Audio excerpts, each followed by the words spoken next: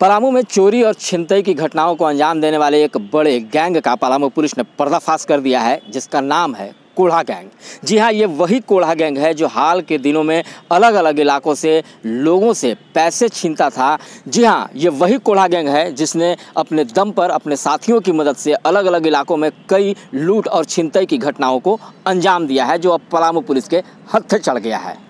आपको बता दें कि कोढ़ा गैंग के दीपक कुमार यादव, राहुल यादव, सुनील लट ये तीन जो मुख्य आरोपी हैं, अपराधी हैं, जो कोढ़ा गैंग में शामिल हैं और इन्हीं की मदद से ये पूरे घटनाओं को अंजाम दिया जाता था, इन्हें पकड़ा गया है। इसके अलावा इनके जो दो सहयोगी हैं, जिनका नाम रिंकी देवी और कृत सिंह है, इन्हें भी पुलिस ने गिरफ़्तार कर लिया है। इनके पास से पुलिस को उन्नीस हज़ार आठ सौ रुपये नगद भी मिले हैं। इसके अलावा दो मोटरसाइकिल भी पुलिस ने जब्त किए हैं। ये दोनों मोटरसाइकिलों पर फर्जी नंबर लगा कर रखे गए थे। इसके अलावा जो डिक्की खोलकर पैसा निकालने की बात, वारदात को अंजाम दिया गया था। तो डिक्की खोलने के जो औज़ार होते हैं, उसे भी बरामद किया गया है। इसके अलावा चार कीपैड मोबाइल और एक टच स्क्रीन मोबाइल भी पुलिस के हाथ लगे हैं। इसके अलावा जो सबसे इंपॉर्टेंट, महत्वपूर्ण बात है, जो इस कोढ़ा गैंग की खासियत थी कि ये जो है खुजली करने वाली दवा अपने साथ रखती थी और ज़रूरत पड़ने पर इसका इस्तेमाल करती थी। तो वो खुजली करने वाली जो दवा है, उसे भी पुलिस ने बरामद किया है। इस मामले में पलामू के एसपी चंदन कुमार सिन्हा ने प्रेस कॉन्फ्रेंस कर पूरे मामले की जानकारी दी। उन्होंने बताया कि कुछ रोज पहले, यानी कि दिसंबर महीने में ही, रिजवानुल हक अंसारी, जिनका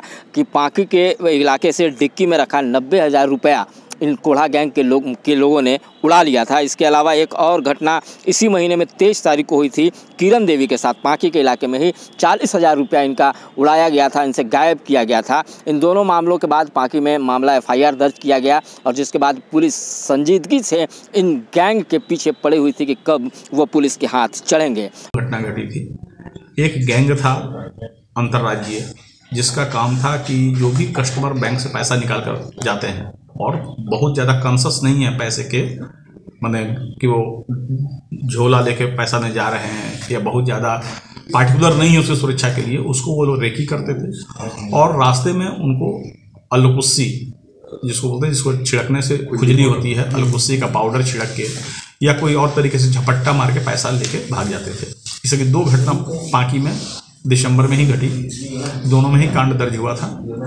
उसका गैंग का उद्भेदन भी हो गया और उसके तीन अपराधी और उनके सहयोग करने वाले दो, पाँच की गिरफ्तारी हो गई है और उसका एक किंग पिन है जो फरार है।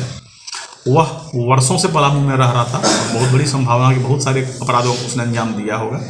उसकी गिरफ्तारी भी हमारे लिए महत्वपूर्ण है। सबसे आश्चर्यजनक तथ्य यह है कि यहाँ की एक स्वास्थ्य सहिया महिला जो है, वह इस आपराधिक गैंग में शामिल थी और उसको सारे तरह की सुविधाएँ यहाँ लिए उपलब्ध कराती थी। वो भी गिरफ़्तार हुई है।